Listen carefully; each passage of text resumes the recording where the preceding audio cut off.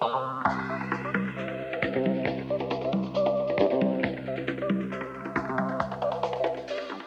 Stream 2017, directed by Isaac Rodriguez.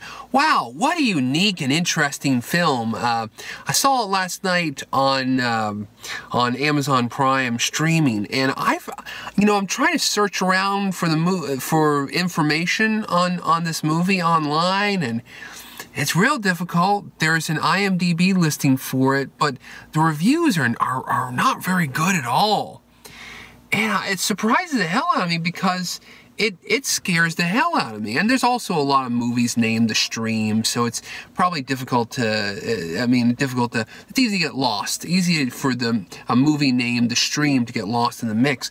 But this is an interesting movie. It's, um, it's, uh, it's a, it's a horror film. It's a psychological horror film shot in a very interesting way. The film begins with us going into uh, the apartment of this young woman, Stephanie, whose uh, husband or boyfriend or, or significant other has committed suicide in, in, a, in a very strange and violent manner. And we hear like a little radio broadcast that this is uh, somehow becoming an epidemic.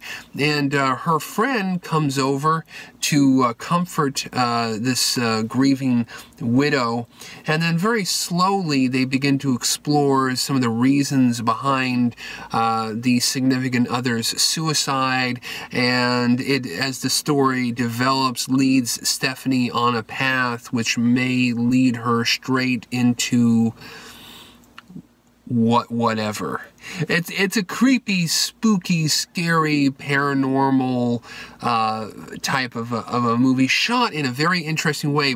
Most of the film is shot in a series of uh, uh, one one extended takes, single takes shot with this very wide lens and some kind of camera stabilizer as we follow the character uh, as this camera kind of dives around around the uh, apartment. And I thought immediately it brought up really, it looked like Terrence Malick. It really reminded me of Terrence Malick and, and this type of transcendental cinema this, that Terrence Malick has developed since The Tree of Life and, this, and these other films that he's made, but in the context of a horror film. And then also there's other movies like Quiet House and other more modern horror movies that are kind of shot with a camera roving around. But there's something about this roving camera it's almost like this very Terrence Malick version of Evil Dead. That Evil Dead, like you feel like you're this kind of entity that's kind of hovering around. It, it also also reminded me of Gaspar. That you're this entity that's hovering around these characters and swirling. And, and, and technically, I think it's quite kind of an um, you know uh, an interesting kind of technique. It's very unique. Again, it, it does kind of call back to some of these other movies, as I said, a little bit of Terrence Malick, a little bit of you know, like The Quiet House, that style of film, and, and, you know, and some other films that have tried to do the same thing. But there is something to, unique to it, and the sen- and the way that this very simple film technique builds this kind of sense of dread and foreboding. The soundtrack of this film, this film takes place in this kind of house, this apartment. It's raining outside and we hear the muffled rains. Uh, that's actually kind of quite peaceful and, and, and in a way, but there's something kind of odd about it. Like there's the outside and then we're on inside and, and there's this kind of separation between the exterior where things are going on in the exterior and things are going on in the interior. And, um, and the, the, the sound design of the film, well, very simple. It's not a crazy sound mix. It's very, there are moments of the film which will scare scare the wits out of you. And it really is scary. Uh, the, the, the, the, the, title of the film, The Stream, um, is, uh, is, is regarding an internet stream, which apparently the, the husband uh, got obsessed with. And of course, with that, you know, you have shades of Japanese horror film, Asian horror film, Pulse, uh, Kairo, uh, The Ring, uh, things like that and I felt the film was going to go down that one path, and I don't know, I'm not going to uh, spoil anything, but I must tell you, the film does not. It goes down. It, it goes down a completely different path, and there's some moments that are really just. It's a good just shock moments. There's not. There's. It's. This film is not really this intellectual. It's. It's. There's moments of just pure terror. Just. I haven't. I haven't had so many good shocks in in one movie in a while. This movie does deliver the shocks. You know, it's it's uh, shot as I said. This this the technique of the and the way that this boom shots you know uh, really hits me and it's a real it's one of those movies you just sit down and you watch and it just toward the end of the film it does kind of slow down a little bit and then the end the payoff is kind of uh, it, it, it, it, the payoff is scary though um, but a, a, good film. And then the whole stream, the this thing, this idea, this man's face, it reminded me hell of a lot of um, uh, Children Shouldn't Play with Dead Things of Ernie.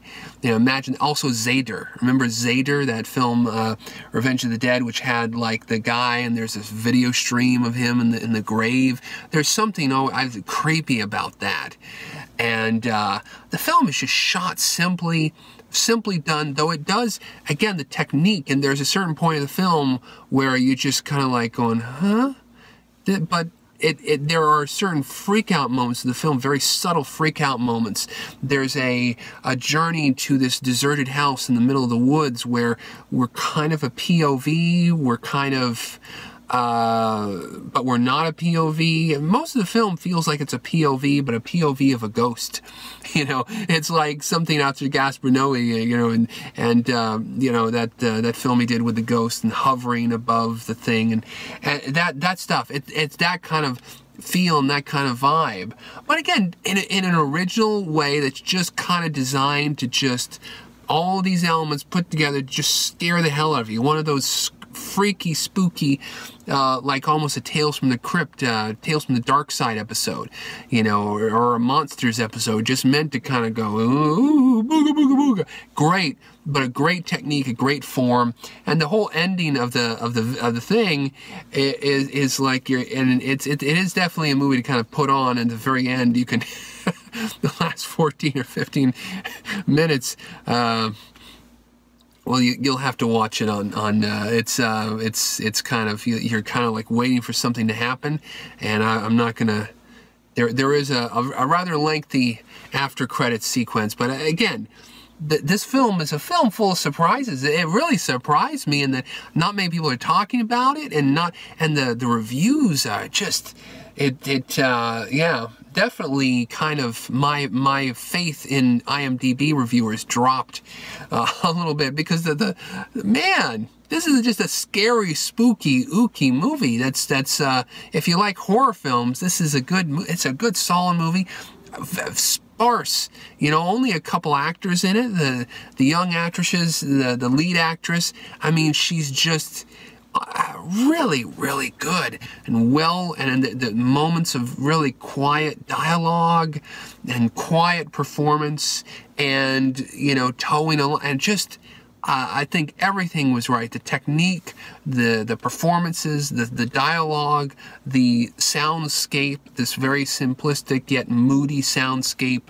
Um, everything well done. So well done uh, Mr. Rodriguez, The Stream, uh, a good little spooky film, and uh, the world needs more good little spooky films to discover. On behalf of the motion picture industry, welcome to the world of home video entertainment.